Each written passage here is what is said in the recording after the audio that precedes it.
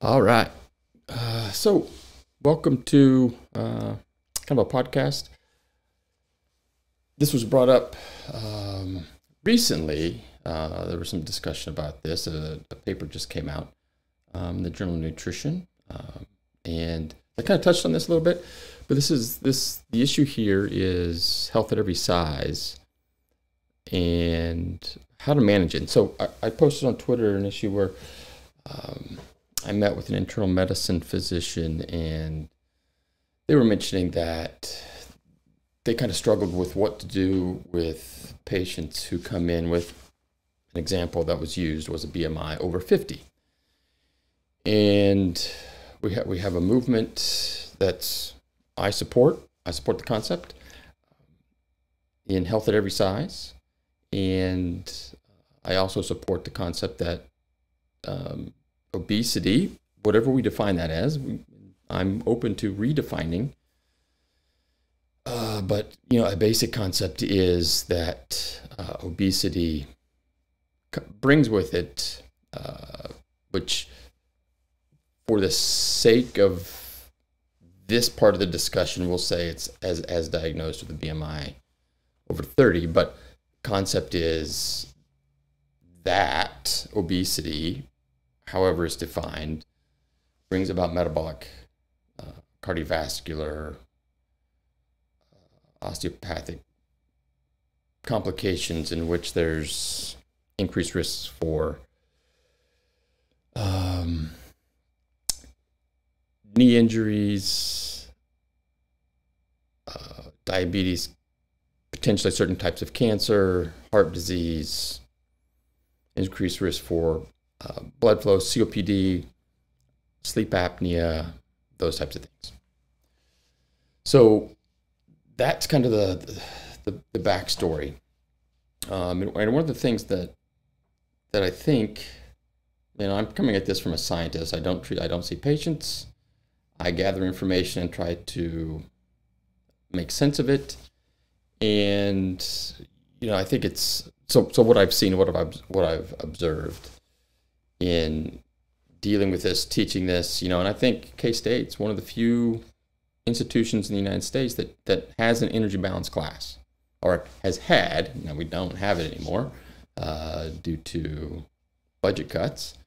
Uh, so I had to sh- shift to uh, other courses, but uh, so that's, you know, and so in essence, what does that mean? It, it means that I think some people may be studying this from a limited perspective versus looking at it from a broader perspective and a uh, an obesitology or body compositionology, if you will, versus a, a single lecture in a single class that a student may see, and this may be something they get from a textbook or they, they pull from somebody else, and they're they're transferring that information to to the class versus um, having a class that's that's devoted the whole semester is devoted to, to, several aspects of this. And so that's that's kind of my perspective on this. Uh, also those of you may may know about um, the twinkie diet and the issues that i've had and the, the, personal issues that i've had. And so some of those things will come out too. So health at every size obesity is one right is one wrong uh, and I, I think a lot depends on the context of that. And because I think some people, the discussion I had with the, the physician was, I think some people on the health at every size will say, I don't need to change this because, and they may use it as a way to justify or rationalize certain behaviors when those certain behaviors may not be beneficial. Likewise, I see sometimes what happens in type 2 diabetes that you may have patients that will uh, pre inject insulin and pre-injected dose where they I say pre-inject, but they're, they're getting ready to eat or they're getting ready to do something, and, and based upon that something, they uh, are preparing. Uh, this is either late stage type two or type one, and so the insulin levels may go up, and so, so it may drive blood glucose down, and say, oh, I need to, I need to eat something, I need to eat a treat, something with sugar, those kinds of things, in which uh, there may be a that that dose of insulin that they injected uh, with intent or, or not, or by mistake, uh, leads to uh, greater glucose uptake and decreased blood glucose, getting to where it's hypoglycemia now, and they have to replenish that. So, just going to give a potentially similar similar perspective. Likewise, on the physician side, the healthcare provider side, you know, this is something that I, that I, I picked up several years ago, and this is something I noticed. Regardless of what you think of Dr. Oz, I think you may know my, my take on it, on him and, and what how he treated me. But it's one of those things where what came to light or the, the, thing that resonated with me was how many healthy obese people go see their cardiologist or go see a cardiologist or go see a nephrologist or go see an internal medicine doc? None. If they're healthy they're not going to. And so i think one of the things that that may shade the the vision or perspective of healthcare providers is the majority of the patients they may see may be obese, whether it's BMI 30, BMI 40, BMI 50, whatever. And so, since those are the people they may see more often, they may have this concept of, well, hmm, they're, they're at increased risk for this or they're at increased risk for that, versus seeing. So, the first thing they may see, so this is where I have issues with, and I support the HAES, and I have issues with the obesity, is somebody you get judged based upon oh well you see it all the time with um, celebrities. So and so eats too many snacks. So and so needs to to do this. And this is one of the things i get at you know basically fat shaming. And it goes on. And uh, a person's size is a person's size. A person's color is a person's color. A per- it's taking that prejudgment and attaching a health, especially from a healthcare provider perspective to it, it's if you did this, if you lost weight, you would be you'd do better. And this is where I, I do support the health at every size thing. Is it's what can I do readily? And so one of the aspects is getting at. I think sometimes some some physicians it's like going from you got to lose 200 pounds. It's like 200. I weigh 400. That's half. That's a lot. And so you're asking potentially a lot of people to make huge changes that, you know, if you said, you know, hey, let's work on, let's work on 2%. Let's lose 10, let's lose 10 pounds this year. Whatever the, whatever a goal. I'm not saying that that's right or wrong. Everybody's case is different, but change that target to something more realistic or even and this is why again I support health at every size because maybe if you say you know what? Let's not worry about your weight. Let's get you being more physically active and maybe let's let's increase your dietary fiber a little bit or whatever the the, the dietetics the diet the nutrition side needs to be changed however that's viewed and whatever the assessments are. Because you know if you if you focus on the behaviors the body composition and weight may follow without focusing on the weight and focusing on the scale and so, you know, if you say, let's change dietary fiber, you know, let's, hey, can you, what do you think about getting 20 minutes workout in two or three days a week? Is that doable? What about 10? You know, just start somewhere. And, and I think that may lead to some, some A, some confidence in, in being able to change their behavior versus I think one of the routine things is when you focus on weight first, it's because so many things can can affect weight. You know, water, uh, working out, those kind of things, depending upon issues, and then hunger. You know, it depends on what time you weigh, and people may not understand. You know, weighing in the morning versus weighing in, in the evening. Shifts in that. It's like, oh, I gained so. Oh, this was a terrible day. I, I gained so such and such weight, and it's like most people are going to gain weight if they weigh themselves in the morning and then weigh themselves again at night. That's human nature. Uh, the issue is, you know, when you get up in the morning and you void, what's your weight then? You know, so, so picking a similar time of the day to weigh. I think that's important. Um, so that's kind of the, the backdrop. Um, so what are the the pros and cons of obesity? You know, I think one of the issues with obesity, and this is a has to do with BMI, which clinically fantastic. Hop on the scale. How tall are you? Done. It's one of the easiest assessments that a that a clinic can do because most everybody has a scale, most everybody has a, a stadiometer or a way to measure height. Um, I mean, even if you just measure, I mean, when you're working with adults until they get older, you really don't have to measure. You don't have to measure height once, in essence.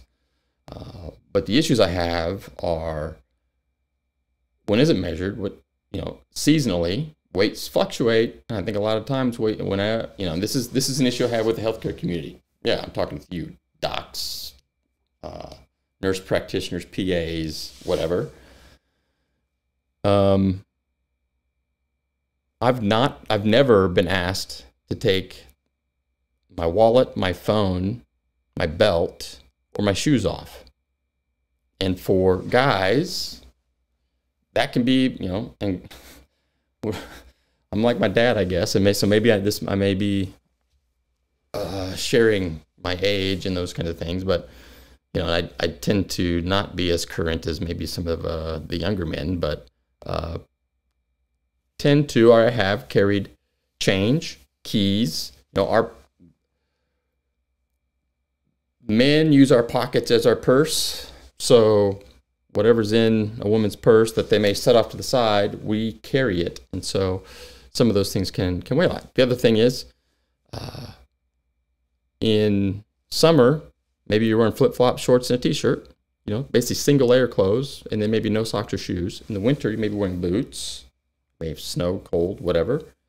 Jeans, three layers of like a sweatshirt, sweater, hoodie, whatever, long pants, whatever. And that alone can, can vary three to four pounds. And so it may look like, oh, your weight's going up. And then that all of a sudden triggers something in the, the person that says, oh, I better do something. I, oh. and then they may feel guilt, they may feel shame, those kinds of things. And, and that's not necessarily the, the purpose of the healthcare provider, because I think that's part of that societal because we have a war on obesity. Um, and that was one of the things too that I that I I have with the the anti-obesity perspective is it's fat is bad. This is bad. And we get to this good, bad eating, you know, don't do cardio, do cardio, don't do way heavy weights, do heavy weight, whatever, because you'll change your body comp. And it's all based upon obesity, body fat, looks, potentially aesthetics, those kinds of things. And I think that's I think that's dangerous. Um, you know, and the other thing is, you know, from an age and a life span perspective, you know, I said we only have to measure height once. That's in an adult. You know, for for youth, you have to do for Tanner stages and for other aspects to get the BMI to height ratio or the the weight to height ratio because height changes, weight changes over time. Also changes over time with with older adults. We tend to shrink. Um, due to, due to gravitational joint issues, etc. Um, you know, and then you get in the issue of you know wheelchairs and those kinds of things, and tends to create some uh, measuring issues and then assumptions of BMI and how how good is it. Um, so typical message is weighing less is better, and I think that poses problems across time because you know having worked with some older adults know, there's some older adults that that think they may need to lose weight when in act- actually they don't. You know, and what's one of the, the key factors for determining uh, the health of an older adult? Unintentional weight loss. And um, so, on that note, oops, still got to get used to this this camera thing. Um, study this was several years ago, so this is almost 20 years ago. Um,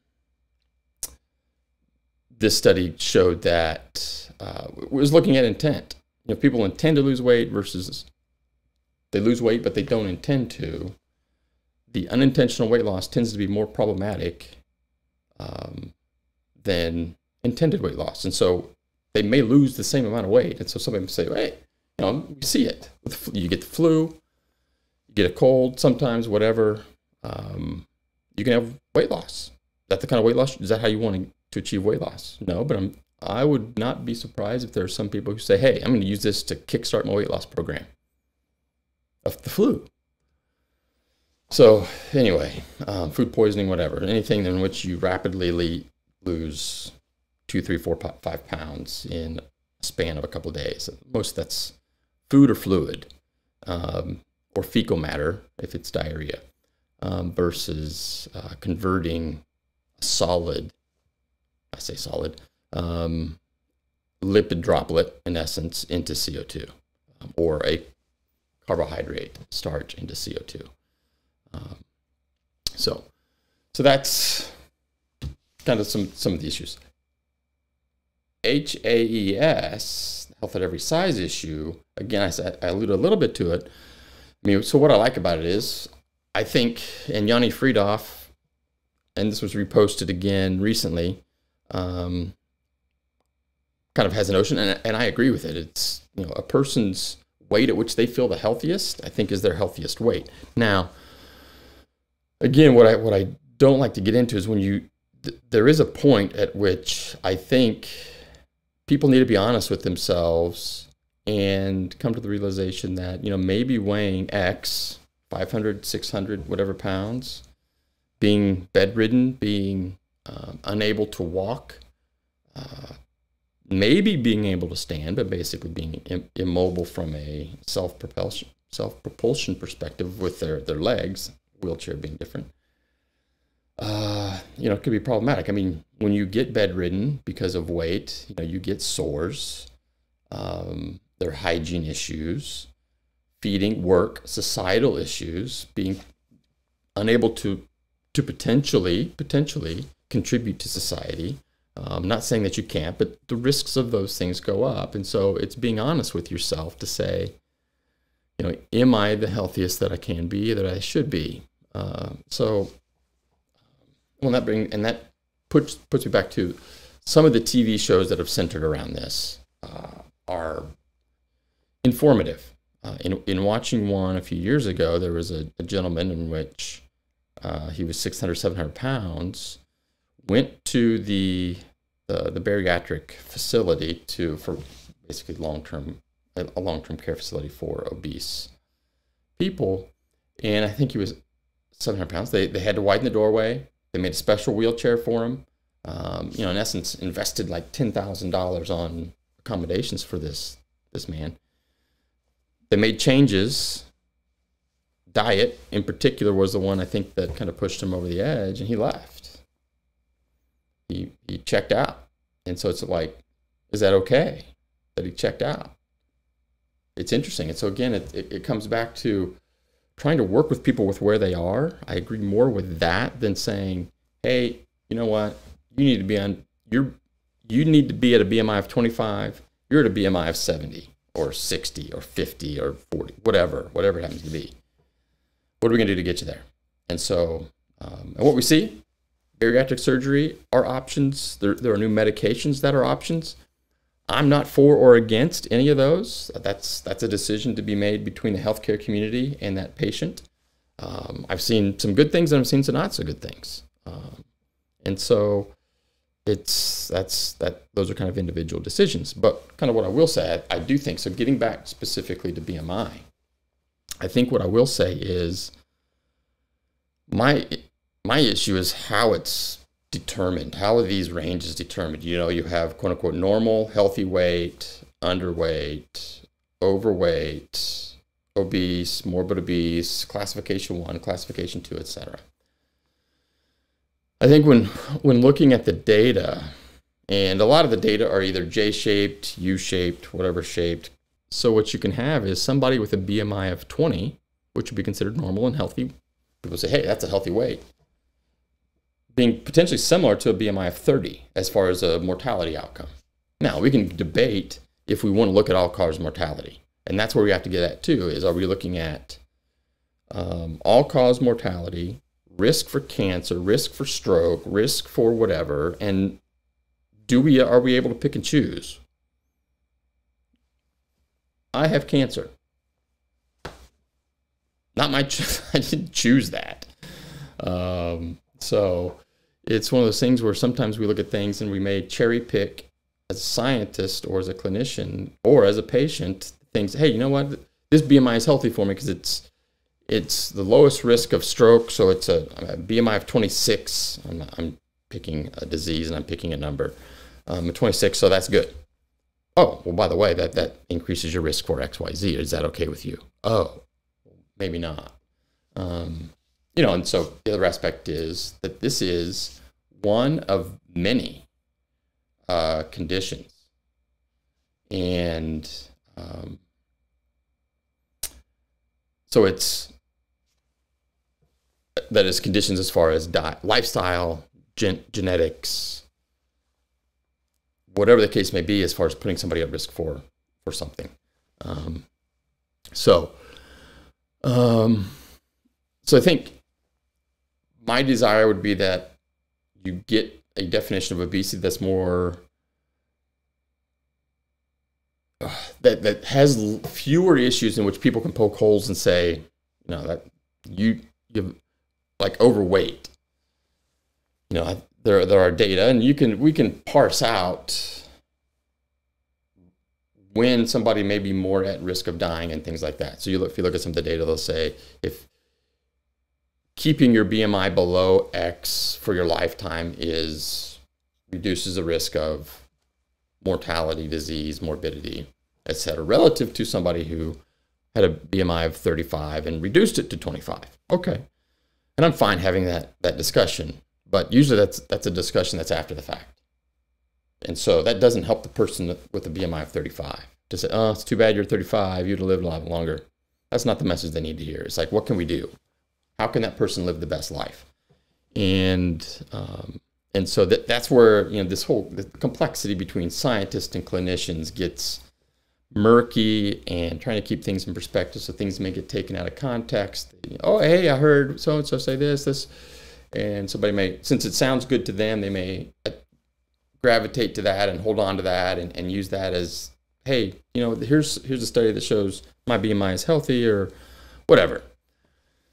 Versus having a broader look at it, or a physician may say and and and may see one day it's like, you know, we got to get you back down here, we got to get you here without taking into account something that's that's personal to the person and uh, whatever. And so working with where they are. And I'm my issue is I think that needs to be a dialogue and a compassionate dialogue between the patient and the clinician. The patient needs to be open to things and accept the information from the physician, and the physician needs to be compassionate and understanding that what the, the message they're delivering to that, that individual, their patient, uh, may have some baggage that's attached that's not from the physician. It's a life experience. Um, and, you know, some may go back to the movie.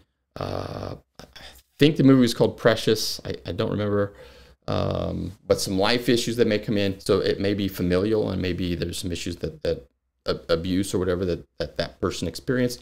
Or comments from the community at large via social media, whatever that that are problematic, um, and how that that's received. And so, a physician said, you know, you may deliver a message, and the the patient's in in kind of shock and in in receiving that, and the healthcare provider's like, what did I say? Because they may not have had that response before. So it's it's, and I know both patients and healthcare providers are doing the best they can good providers not intending to be malicious or lead to unintended consequences or lead to frustrations on the patient side. Um, and so, but you know, clinicians and, and healthcare providers human, just like the patients are human. The patient may have a, may have had a bad day, and so that day that's just like they're just on edge, and everything that somebody says to them just kind of sets them off.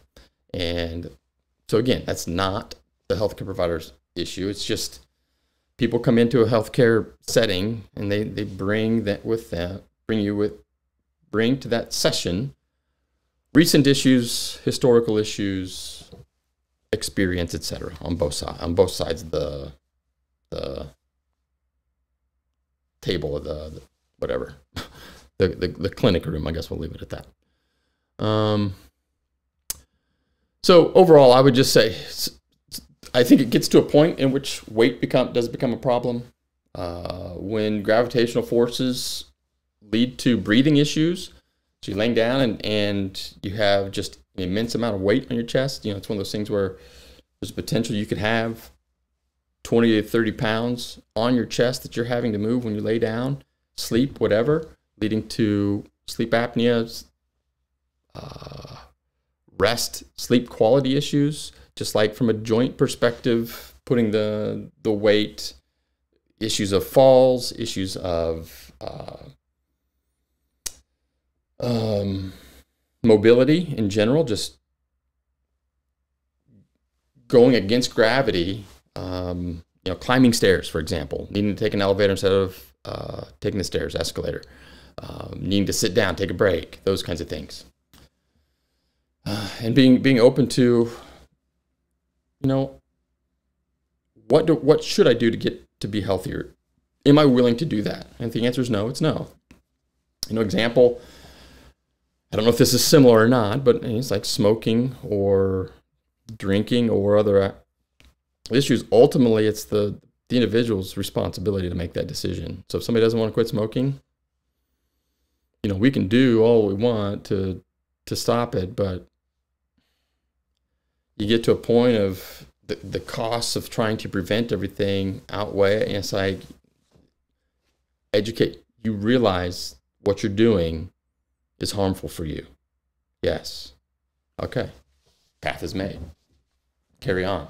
I will support you as long as I can. I'll do whatever I can to work with that, work around that. But um, that's that's the choice you made, and, and we see that a lot. And you know, that's a that's part of being human is making choices and and living with those consequences. Some good, some bad. So anyway, um, so I'll just I'll just kind of end with that. I think if we focus on the behaviors, let's focus on so so adopting that health at every size thing. Let's start with that and let weight follow. And, so, and then going, dang it, and then going back to kind of the study that recently came out, you can have some changes that occur regardless of weight. And there are several others um, studies that have shown changes in, in health outcomes without changes in weight. And so adopting healthy behaviors, I think, is a good first step. Then let um, let them gain confidence, let them see that those behaviors lead to benefit, and then maybe, maybe you'll see a change in, in body composition. Uh, maybe not, um, but then take steps, use those steps, and you know lean on the healthcare providers, dietitians, um, and others who kind of work with that, who are qualified to, to, understand the, the eating behavior issues and potential pitfalls of those things and you know potentially needing to work with a mental health provider to, to get around food issues food fears and dealing with fat shaming and those kinds of things. And so anyway i'll leave it there. Thank you. And if there's anything else on this topic you want to to hear i'm happy to, to look into it and give my my best reaction to it. And uh, you know, for that, you know, going back to just his, historical, one of the things I would use in class was uh, Penn and Teller. I don't know if you you know Penn and Teller. Fortunate to see them in person. Uh, enjoy their uh, their delivery, their entertainment, but they also had a show a show called Bull Blank, uh, not blank, but um, in which they, they did an obesity issue scenario. And so they, they talked about some things, some of these similar types of things. And so uh, I'll see if I can put a link to that here in the, the description down below because it's, it's an interesting take. I'm not saying it's the best take, but because it is, there are some humor things and they do, I think, push things too far in some directions. But in essence, it's, it may give a different per- perspective than um, what you may be used to. So anyway, thank you. Uh, thanks for watching. Thanks for sticking it out, and have have a great day. And until next time, see you later.